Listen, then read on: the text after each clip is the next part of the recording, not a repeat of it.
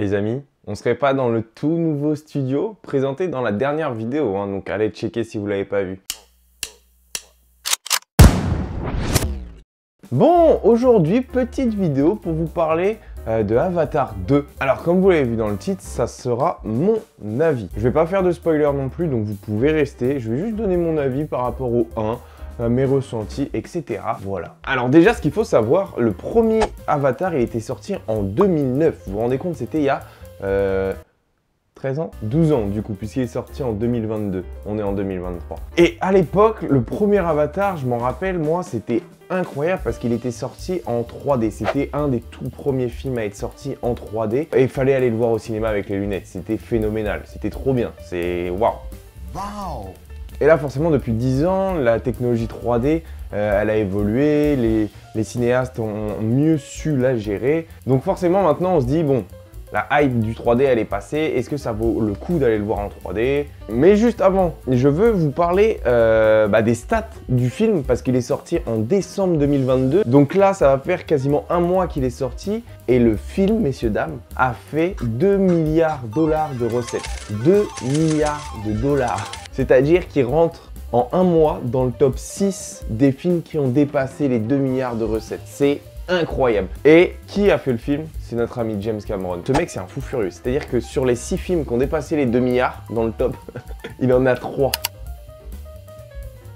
Il a Avatar, le premier, Avatar, le deuxième, et Titanic. Il a 3 films qui ont explosé. Ce mec, il a fait dans sa vie, je crois, une dizaine de films. Je ferai une vidéo entière sur sa, vie, sur ses réalisations, parce que c'est un, mec, c'est un, génie. Il sort un film tous les 10 ans, à chaque fois, c'est dans les tops des films mondiaux. C'est incroyable. Et dernier point pour finir, du coup, le nombre d'entrées au 18 janvier 2023. Euh, le film en France avait fait 11,5 millions d'entrées. Donc euh, c'est pas dégueu. Hein. Ça a dépassé le Roi Lion euh, nouvelle génération qui avait fait plus ou moins 10 millions d'entrées. Mais par contre, on en est très loin euh, du top du top Titanic, 21 millions d'entrées, qui est le film le plus vu en France. Voilà. Alors pour ceux qui ne savent pas, euh, je vais juste vous faire vite fait le synopsis de Avatar 2.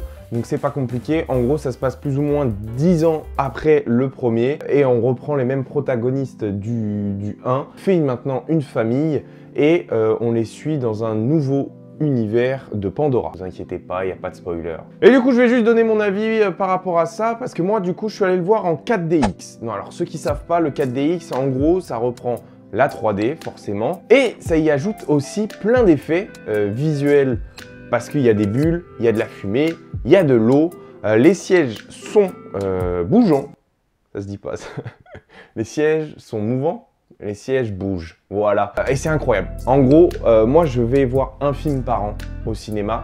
Et là, je crois que j'ai vraiment pris une claque. Par contre, le prix du billet, c'est 18 euros. Parce que je suis en moins de 26 ans. Mais sinon, on va dire une vingtaine d'euros. C'est quand même cher, c'est un budget. J'irai euh, pas voir toutes les semaines un film comme ça. Mais franchement, pour là, un film comme ça que bon, j'attendais en vrai un petit peu, franchement, c'était une claque. C'était phénoménal. Moi, j'ai adoré. J'avais jamais vu un film en 4DX, mais là, mais une claque. C'est-à-dire que quand dans le film, un personnage tire une flèche, par exemple, nous, on va le recevoir dans le dos. C'est-à-dire que dans le siège, tu as un truc qui va t'appuyer dans le, dans le dos. Sur les techos, euh, t'as du vent, t'as de l'air, t'as des odeurs aussi. C'est vraiment trop bien fait. T'as des trucs entre les jambes qui te bougent, qui te touchent un petit peu quand il y a des trucs. Moi, je préfère aller voir un film comme ça une fois par an que d'aller à Disney. Tu vois, par exemple, Disney, bon, bah, moi j'ai la rage contre Disney, mais bon, c'est pas grave. Mais quand tu payes 80 balles, tu fais plus de, de queue. Il y avait une moto. Quand tu fais plus de queue que euh, d'attractions, ça rend fou. Là, c'était trop bien. Franchement, 20 euh, euros pendant 3 heures en plus parce que le film est long. Mais j'ai pas vu passer. Moi, au bout de 1 heure, d'habitude, j'en ai marre. J'ai envie de partir dans les films.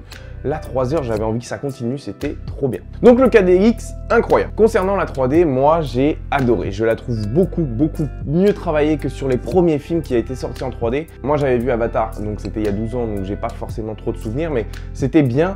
Mais, euh, mais là, c'est trop travaillé. Là, c'est parfait. En fait, c'est euh, la 3D, genre, ça te met vraiment, t'es dans le truc. C'est-à-dire qu'avant, tu vois, il y avait une flèche qui approchait de l'écran comme ça, et toi, tu te disais, waouh, elle va te toucher. Là, c'est euh, c'est pas comme ça. Maintenant, la 3D, je trouve qu'elle est, elle est mieux travaillée. Genre, ça te met plus, ça, euh, ça, ça met tout en 3D en fait. Avant, ils essayaient d'accentuer un truc pour te dire ouais, on a fait de la 3D. Là, c'est vraiment tout le, euh, tout le, pas le personnage, tout le, décor qui est en 3D, c'est trop beau. Et là, vraiment, par exemple, quand ils sont sur des, sur des euh, oiseaux, là, je sais plus comment ça s'appelle leur truc là, t'as l'air en plus en 4DX, T'as le 3D, mais c'est magnifique, c'est vraiment magnifique. Et alors du coup, concernant mon avis sur vraiment le film en lui-même, euh, moi, j'ai adoré. J'avais regardé forcément un petit peu les critiques avant d'y aller, et ça disait euh, le scénario est moins bien travaillé que par rapport au 1, mais les images sont ouf. Alors, quoi qu'il arrive, les images sont magnifiques. Franchement, c'est un travail exceptionnel, l'image, elle est belle. Il a créé tout, tout l'univers, parce que du coup, on est dans un autre monde de Pandora, et on le redécouvre c'est vraiment trop beau. Moi, j'ai préféré celui-là au, premier. C'est-à-dire que le premier, on est vachement dans la forêt. Bon, c'est stylé, tu vois, l'histoire, elle est vraiment bien, il n'y a pas de problème.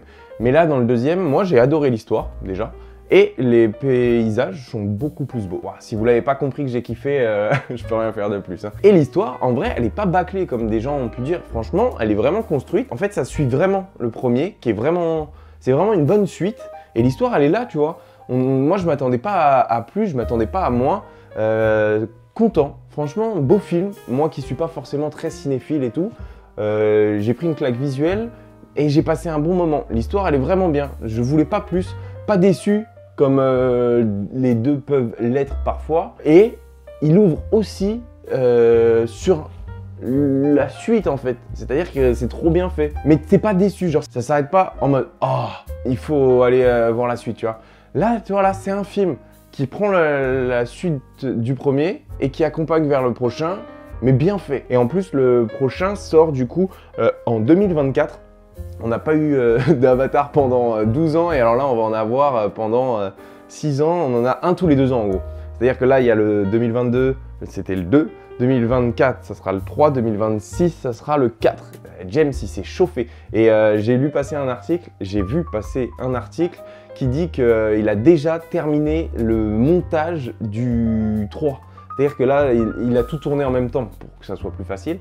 Et euh, du coup, il a déjà terminé le montage et le truc, il fait euh, je sais pas combien, il dure 6 euh, heures, plus de 6 heures. Évidemment, il va le raccourcir, il va garder les meilleures scènes, les meilleurs moments pour nous sortir un film qui dure plus ou moins 3 heures pour que ça soit diffusable, sinon ça serait une catastrophe. Voilà, c'était mon avis sans spoiler, mais vraiment foncez allez-y. Euh, si vous n'êtes pas forcément au cinéma, franchement, euh, moi c'était le seul film que j'ai vu euh, en 2022. J'ai pris une claque, vraiment un bon moment, un, vrai plaisir. Et en 4DX, si vous pouvez vous le permettre, allez-y, c'est une vraie claque. Moi j'ai adoré. Voilà, c'était mon petit avis. J'espère que ça vous a plu. En attendant, profitez de la vie avant que la vie ne profite de vous et on se retrouve très vite.